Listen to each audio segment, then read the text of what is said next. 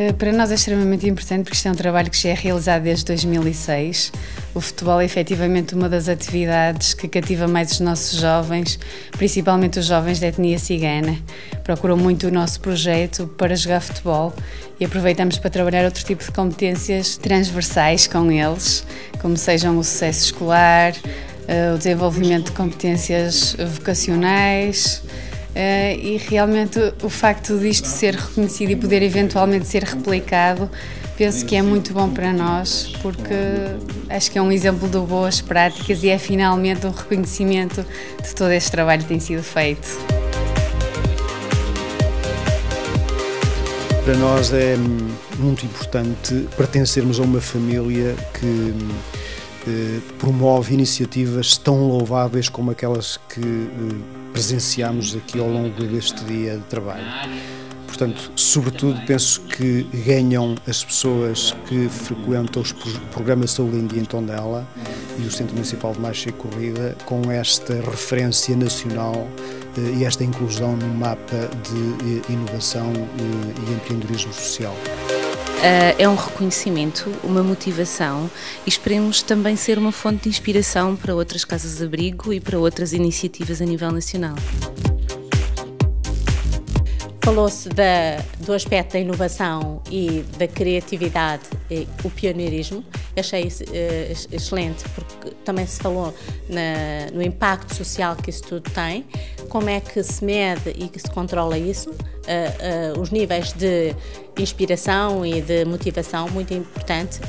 Falou-se também o aspecto muito interessante da ética e da liderança. Por outro lado, a sustentabilidade ao longo do tempo.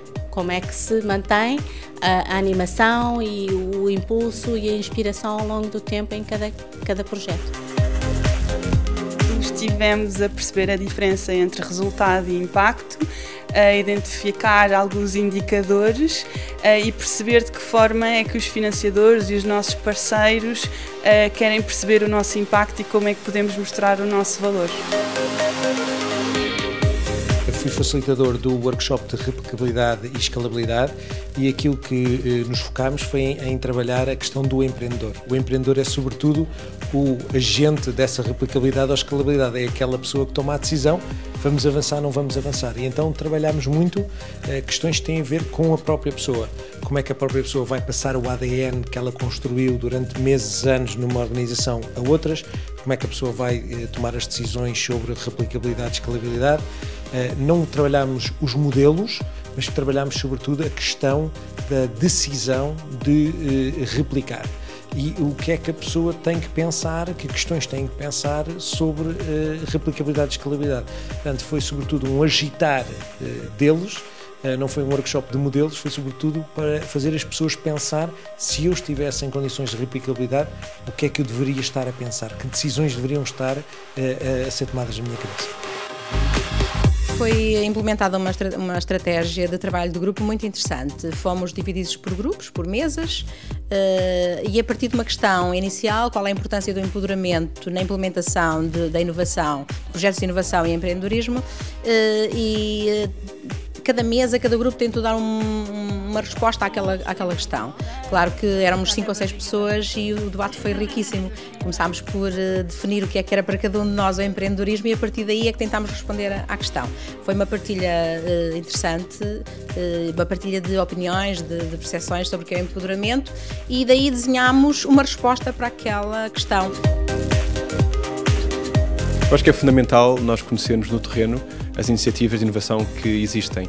Existe imensa inovação, como este mapa demonstrou, imensa inovação social a acontecer, às vezes invisível, às vezes isolada, às vezes sem apoio, mas há muito, muita criatividade, muito entrega, muito empenho, e às vezes a dificuldade é identificar os melhores projetos e ajudá-los e apoiá-los no crescimento. Agora, com este mapa, começamos a saber quais são os melhores projetos, quais são aqueles que têm potencialmente mais impacto social e pode haver agora um conjunto de organizações e instituições que se disponham a ajudar, a apoiar e a desenvolver mais esses projetos.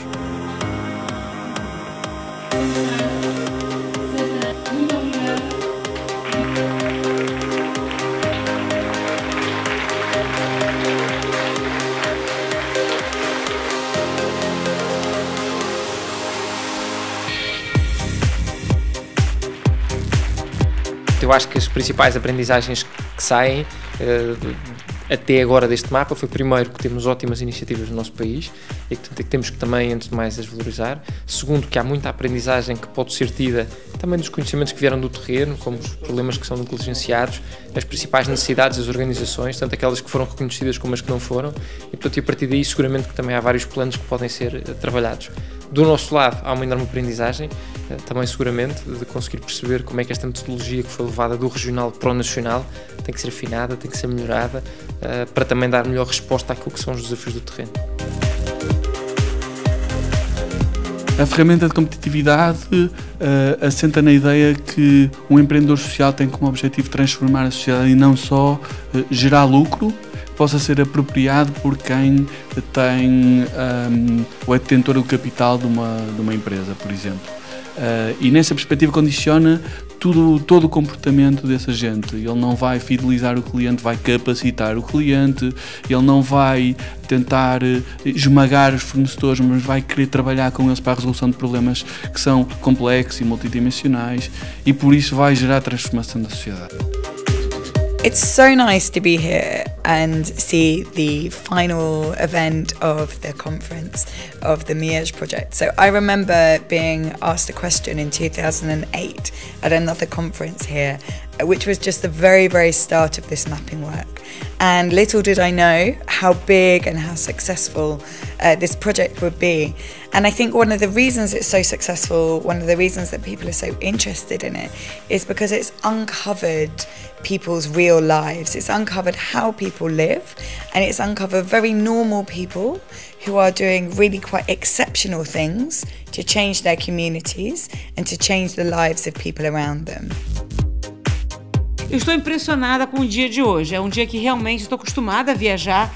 Pra, eu até digo que eu sou uma international beggar, porque fico mendiga internacional, que ando falando sobre saúde de criança e já fiz mais de é, 54 palestras em 16 países. Mas estou muito impressionada com a organização aqui em Portugal, em Lisboa.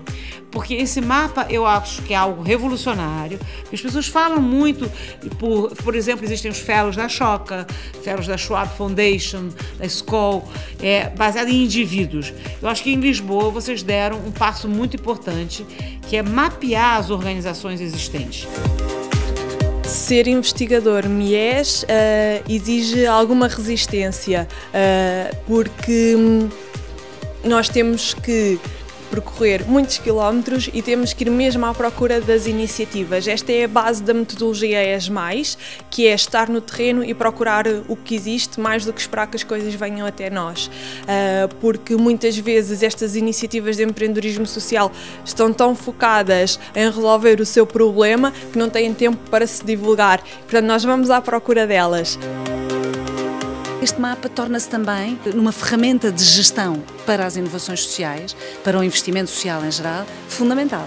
Daí que, eh, juntamente com a Fundação Gulbenkian, quisemos estar, e obviamente com o IAPMEI, quisemos estar um, na, na, frente do, do empurrão a, esta, a este levantamento, que teve só um começo. Uh, como se sabe, este mapa não inclui Algarve, Grande Lisboa nem ilhas, para lá caminhamos em vários níveis há várias importâncias, digamos assim, mas a primeira das quais é nós conhecermos um bocadinho melhor o nosso país e, portanto, conhecermos aquilo que, por um lado, são grandes problemas e necessidades das pessoas e, por outro lado, a capacidade da própria sociedade civil encontrar respostas e respostas próximas das pessoas e adequadas àquilo que são as necessidades das pessoas.